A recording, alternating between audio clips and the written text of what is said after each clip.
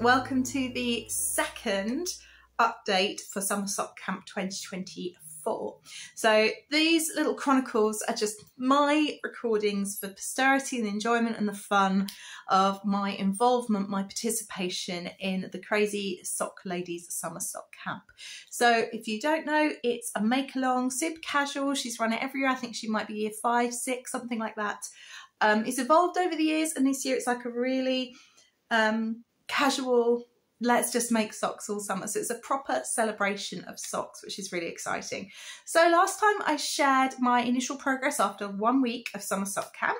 It is now the 16th of June. So I think we've done three weeks now three weeks of summer sock camp um, and I shared some of my WIPs that I was going to hopefully be cracking and getting done as part of this camp. So I've come back to share my progress um, so far, and I have done so well. I'm so, so happy. I'm really, really enjoying um, the summer sock camp. It's it's such good fun. I have one completely finished object, and I have a ton of progress on some other WIPs as well that I'm just so excited to show you. So here we go.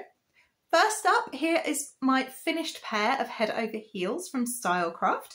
I did finish these for me, and to be honest, I finished it fairly quickly after the last recording. I think it took me a few more days um, to get them done, and I am so, so happy with them. Um, they fit beautifully. As you can see, I haven't woven the ends in, but I count those as finished. And I, I tucked the ends away when I put them in the finished object for us. They will be done shortly um, on Ravelry. And I just, they're really soft, they're really nice to wear. I'm really excited to have these in my sock drawer. So that's them. I haven't bothered trying to match, life's too short, and you can see they're related. They don't have to be identical twins. So that's pair number one finished. Then I've made a ton of progress on my mum's second sock. So there's the first and this is the second. The issue I've got is that that is all the yarn I have left. So I am waiting for my mum to send me back the original first sock that I did for her because um, I knit it and I didn't think it was going to fit. So I posted it up to Essex so that she could try it on and lo and behold, it didn't fit. Um, so I cracked on in the meantime with working on um, a new first sock, uh, which she tried on at my aunt's birthday and it did fit, it fits really nicely, so that's great. Um, and I've done as much as I can of the second sock. Last time I said to you I couldn't find the spare yarn that I had left over, but I have actually found it and I've knit a whole chunk. So all of this much has been done since I last saw you, but I can't really go any further now. I've got maybe two rounds worth of yarn here. So those ones are definitely on pause. This yarn is Cozy Cozy, which is hand dyed from Cornwall. I've got no idea if they're still going. I'd never heard of them before. I've not seen them since. And she bought this for me about five years ago. So I don't know, but I will possibly try and find out or you can google it yourselves if you're interested i really like it it's kind of micro striping pooling they're quite funky so that's pair number two the third pair of socks that I've been making progress on because as you know I've got various sock works in progress. I've had about 15 I think I worked out between half socks and active WIPs.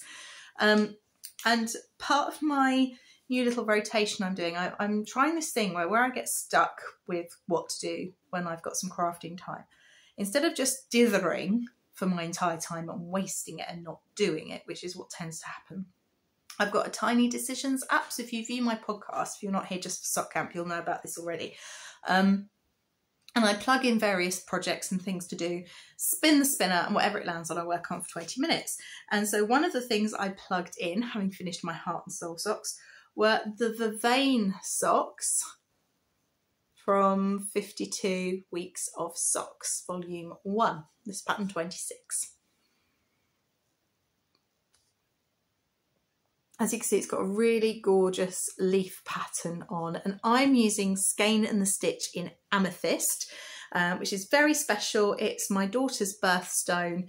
Um, and when I saw Jess was doing this, I, I just had to snap it up and it's been waiting for the perfect um, pattern and, and this is it. So since I've seen you last, I've actually gone from, I was sort of here on the leg. I hadn't really, here, I was sort of here on the leg. I hadn't really done that much. So I've completed the leg and I've done the heel flap and started the heel turn.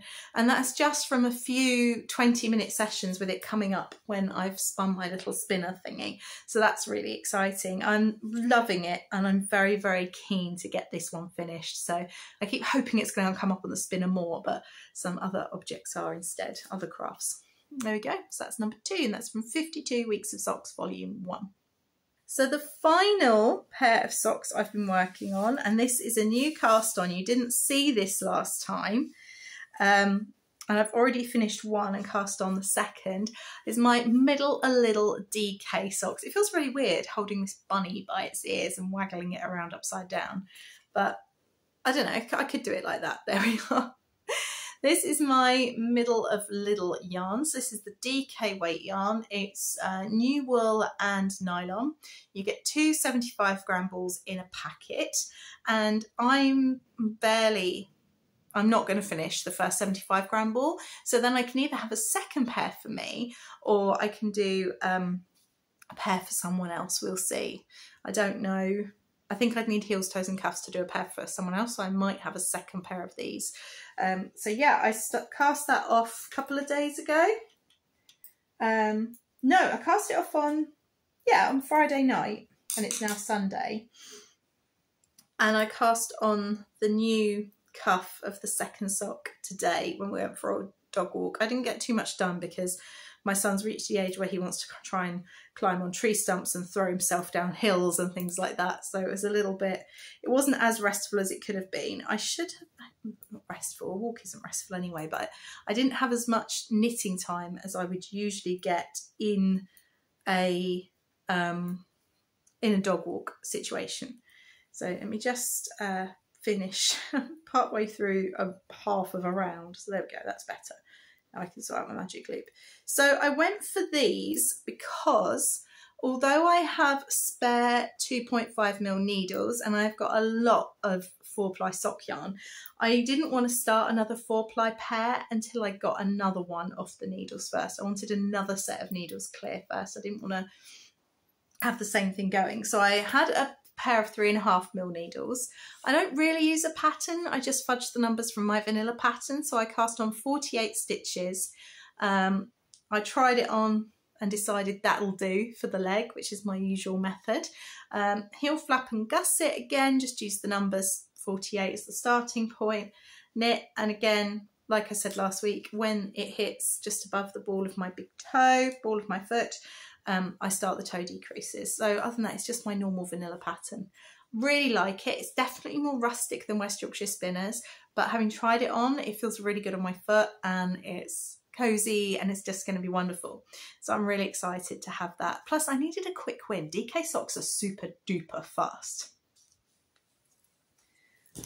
So that's all my active sock WIPs at the moment for summer sock camp. So I've got one faux, two hose, and some that are just kind of moseying along.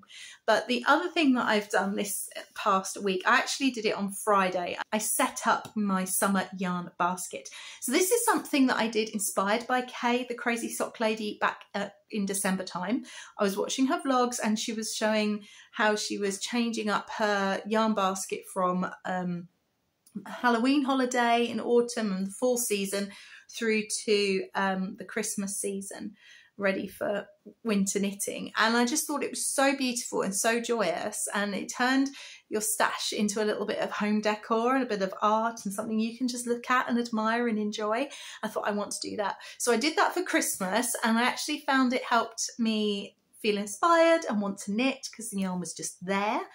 Um, and I did it again for spring. And to be honest, my basket was pretty much empty. I did so much knitting from that basket this spring. So I couldn't wait to do the same thing again for summer.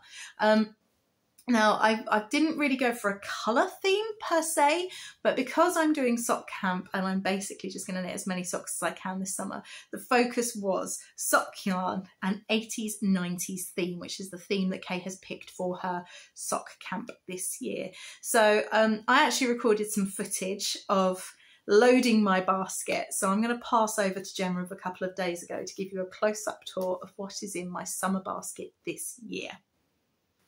So um, this is the state of affairs for my yarn basket as it was, whoops, as it was, as it had got to, which is quite empty. I'm so pleased. The whole yarn basket thing is really working for me. It means when I get the urge to grab something new and cast it on, it's right there and I can just reach for it. So let's start by clearing out. I think I've actually knit way more than I would usually with this yarn basket. So I would kind of like to make a lining for this basket, maybe next year. Maybe that'll be my, my project for next year because it would be good to have a proper lining. I think it did come with gingham lining. It was really cute. Right, okay, so 80s, 90s fun. Uh, great 90s film is Cocktail. I think it's a great 90s film. It probably hasn't aged well. If I watched it again, it'd probably be really misogynistic. But for me, it's all like neon lights and brightly coloured, slightly sickly looking cocktails and, and a bit of flair and pizzazz. So the cocktail range from from West Yorkshire Spinners definitely has to feature. And with that in mind, with the cocktail range, I do have more somewhere. I think they're probably still in the freezer from where I thought I had a moth problem. That so that is oh gosh, rum paradise, or is it tequila sunrise? That's tequila sunrise. That's mojito. I do have all the cocktail range. And to go along with that, I think Summer Sunset is such a beautiful, like tropical, Club Tropicana type colour. This to me screams 80s and 90s, well, late 80s, early 80s, because it's the exact colours of someone's bedroom, uh, bathroom. Hang on, the colours really aren't picking up well. Let me change the angle.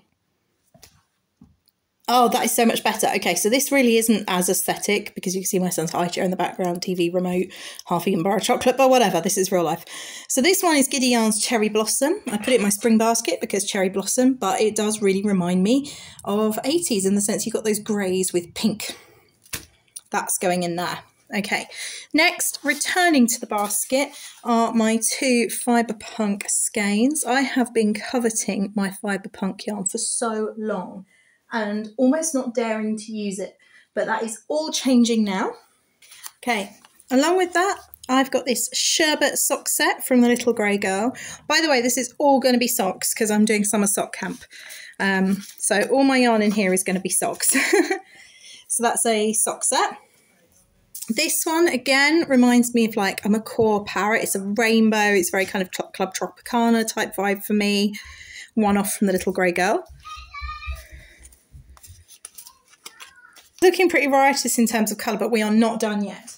So I did say all my yarn is going to be kind of, it's going to be socks. However, there are going to be some notable exceptions.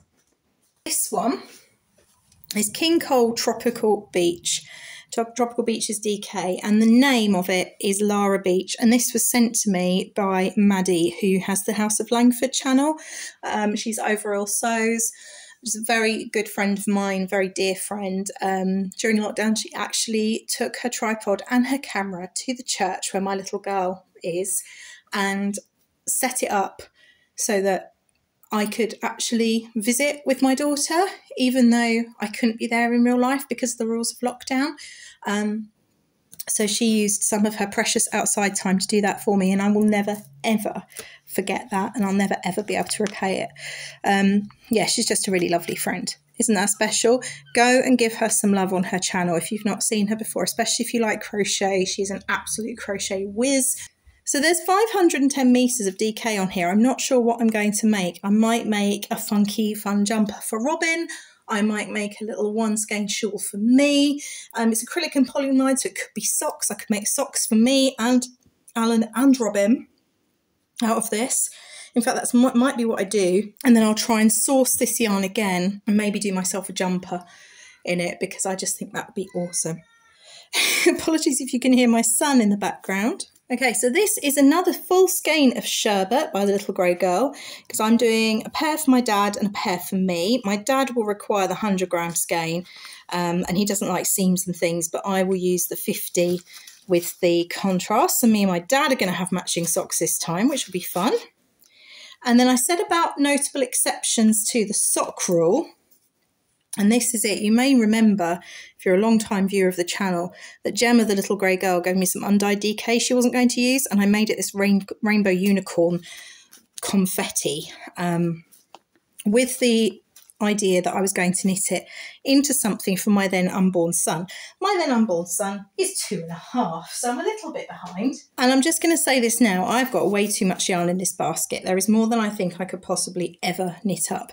But I also have a backup bag of yarn um, that I have on the table over there, which I can draw from as this gets used up. So here we have for the love of yarn. This was Callum's colorway, and its respect is for everyone, and it's just beautiful. Again, it really goes with all those teals, pinks. It kind of pulls everything together. So I think my color riot chaos basket would not be complete without that. All right, and finally, this is my exception. Again, little grey girl is having a hell of a moment in my basket today. This is little grey girl Suri mohair or mohair silk. I'll have to look at the ball band. But this is for a cowl. So you actually hold these double and the result is a much more muted cowl. I kind of wish I wasn't muting it and just had another one of this and did it unmuted because I think that would be amazing. it's a cowl pattern that I have bought and downloaded. I just can't remember the name of it. I made the mistake of starting it at knit night and couldn't concentrate, lost my place. I had to frog it. Um, but yeah, I just, I'm going to work on that. There are projects I really want to work on during the season, which don't actually necessarily fit in with this basket and the theme and aren't socks. Um, so I'm just going to go ahead and pop the yarn in there for it anyway. So I've got this beautiful pinky coloured Sirdar Snuggly four ply, which is for a four ply cardigan that I plan on doing. And I did buy that for doing for one of the baby girls that's arriving. So I think that should still be in there to remind me that I need to do it. And so it's easily grabbable and I don't have to hunt for it and I can just get going. So there you are. There is my riot of colour summer yarn basket. I'm really, really pleased with that. I think it's going to look absolutely fab and fun, and it's going to give me so much inspiration for my knitting for the summer season, which, for the record, is going to be June, July, August. And we are on the 14th of June today. So I'm going to do June, July, August, possibly up to the 15th of September. I think that's what it's going to be. And then September, I'm afraid you're just going to have to put up with Christmas. so here is my crazy colour 80s 90s basket for Summer Sock Camp 2024. Thank you so, so much for watching. I hope you've enjoyed this little snippet. If you are socking along, then please do let me know in the comments below what you're making. Have you been following the hashtag, following in Ravelry? Have you got any new patterns that have come up as a result of this? Who should I watch? Who else is making? Let me know all the sock chatter below. Um, that's it from me for today, and I will see you in the podcast episode later this week. Take care. Bye.